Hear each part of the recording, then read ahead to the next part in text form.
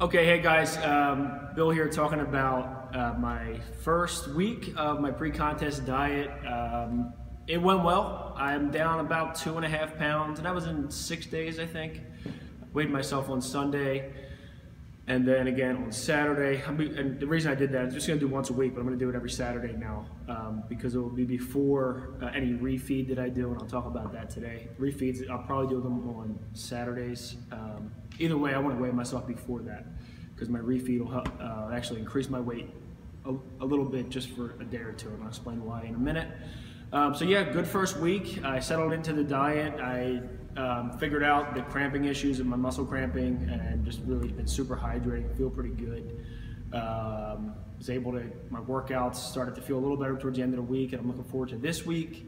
Um, I think they're going to really start to be awesome. I actually expect my workouts to be some of my best in a long time. My body's like really properly fueled. I feel like I'm running on high octane fuel right now. It's awesome. Uh, my calories aren't that low yet, so I should be really crushing it. Um, hopefully, we'll see how, how, how, this week goes. I'm, I'm looking forward. We're doing deadlifts today. See, see how they go. Um, expect some big numbers to come up off the floor. So that's a little recap of the week. Um, haven't been too hungry. A little bit at night, just because I'm carb targeting. Um, a little bit at night because my carbs are super low. Uh, by the time I get to my last meal of the day. Um, so yeah, I'm a little hungry at night. It's not too bad, nothing crazy, um, and it's worth it for the carb targeting. There was a few questions last week about whether or not you should do this type of nutrition plan if you're just trying to lose body fat, you're not trying to do a bodybuilding competition, I explained that a little bit in our member Facebook group, but for you guys that um, or maybe are not members of CrossFit Renaissance or just not in that group for some reason, um, the answer is maybe. Maybe you should do a, a, nutrition plan like this. And I think the big question was carb targeting. Should you carb target around your workouts? Should you eat the majority of your carbohydrate around your workout? And the reason I say maybe is because you got to be very meticulous with your macronutrients. Um, and track them seven days a week, um, you know, for a month or so at least. Be, be committed, I mean, to tracking your macros. Um, otherwise, it doesn't matter as much. Yes, you can get some of the benefits of that, and you can refer to last week's work video uh, for the benefits of carb targeting. Um, and also, you want to make sure you're for, on a cal in a calorie deficit, because if you're not in a calorie deficit and you carb target, it's not like it's bad. It will still get some of the intended benefit. It's just not as important um, most likely because we're trying to mitigate some of those hormones that are catabolic around our training by increasing our carbohydrate. Again, I'm not going to get into it again this week. We did it last week. Um, but uh, you probably don't have to do it. You, you, can probably run straight macros throughout the day. Um, just split your split your food up evenly throughout the day. If you want to go a little bit more pre and post workout in your carbs, that's fine. I don't think you need to get too crazy with it. Um, I, have gotten fairly lean before without carb targeting. I'm just trying to do the absolute best that I can with my nutrition this time around, and this seems to be the way to go. Cool. Um, if you have any questions again about last week's video, just post it underneath uh, that video or any, any, anywhere else you see this video, and I'll try to answer it for you guys. Okay, let's get into this week. Um, this week, I am probably going to do a refeed at the end of the week, and I'm going to talk about the reasons why. One of the big things I want to talk to you today about today is uh, leptin.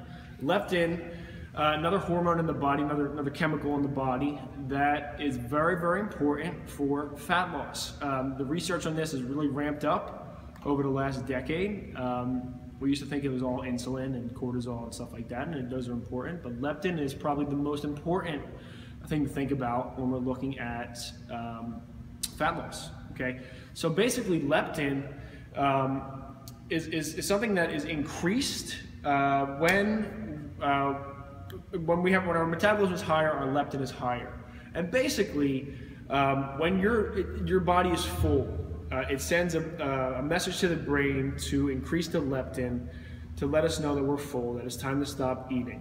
Okay. Uh, and, when we're full and when our body perceives that we're full, so increased leptin lets it know that, that's how it signals it, um, our body will let us burn body fat. Okay?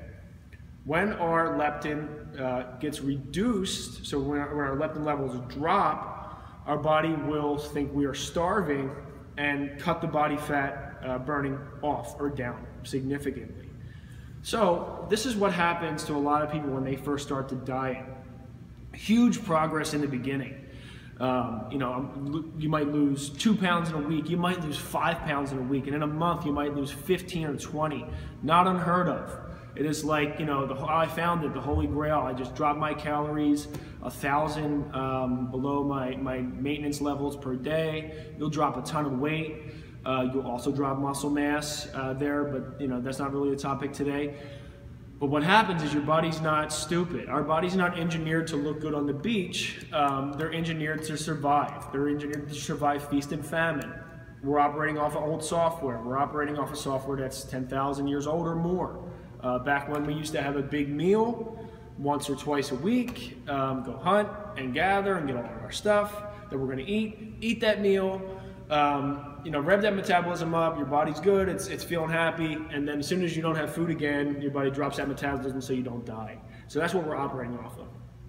And one of the things that controls that is leptin. So as we diet, we have to be conscious that when we're in a calorie deficit, our leptin levels are going to drop. They have to.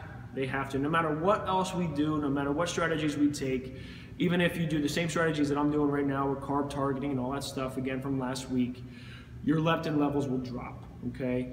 Um, so we need to systematically control our leptin levels. Um, one of the best ways to do that, is, again, if you're in a calorie deficit only over a period of time, is to have what we call a, a refeed day. A refeed day is not a cheat day, guys. Um, a refeed day is targeted at increasing your leptin levels. Um, you, so basically what I'm going to do um, on my refeed days, I'm going to go back to my uh, BMR level, my maintenance level of calories, um, for me, which is about 27 or 2,800 calories. I have to check my check my numbers again, something like that. Um, and I'm going to make those calories uh, up in during that day in a way that increases my leptin levels. And how I increase my leptin levels um, is basically through carbohydrate. Okay, so what I need to do on that day is I need to take um, those calories, 2,800 calories. I need to make, I need to take about a 50 to 100% jump in carbohydrate. So my daily carbohydrate now is 175. Um, need to at least go up at 50% um, possibly by 100%. I'll probably split it in the middle and go 75. Um, and I'll, I'll reduce my protein a little bit because uh, I don't really need protein. It doesn't affect leptin all that much. And the one thing I really need to do is decrease my fat on that day. Okay, fat has a negative effect um, usually on leptin levels, um, at least a neutral effect, but but usually a negative effect.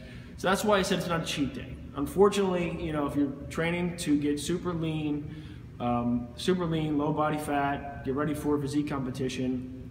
You know, a refeed day for some people, if you don't understand it, it sounds like a cheat day. You can go hammer Ben and Jerry's all day and eat pizza, and it sounds like it, you know a smorgasbord. You just go to the all-you-can-eat buffet. Unfortunately, it's not like that. I just have to um, increase those carbs because that's what affects leptin levels. And what it's going to do is going to tell my body, okay, we're not starving. Um, we can increase the leptin levels again. We can get this. We can get that metabolism moving along. So that's what I'm to probably do um, Friday or Saturday this week. Increase, um, like I just said, that whole plan, increase them leptin levels. Um, there's a few factors to consider uh, if you're going to follow this plan along. Um, your body type's important. So if you know you're there's three body types: endomorph, mesomorph, and ectomorph. I'll get into that maybe next week. And the other, so that's one thing that is kind of important. The, the thing that's most important is your current body fat level, okay? Uh, for men, if you're above 15%, which is probably where I am, somewhere in that range, I'm gonna say that's where I am, um, I probably don't need a refeed maybe every two weeks for now. As my body fat level decreases, okay, I'm gonna need more often refeed. So I'll probably go from a once every two week refeed for the first month or so, and then go to like a once every week refeed. Okay, and then as I get leaner, as I get down to 8%, 7%, 6% body fat, I might have to consider going to a, um, you know, a, a twice a week refeed. and that'll be different. And if I get there, I'll explain that all to you guys too. But that's this week. That's what it looks like. So far, so good. But we're only one week in.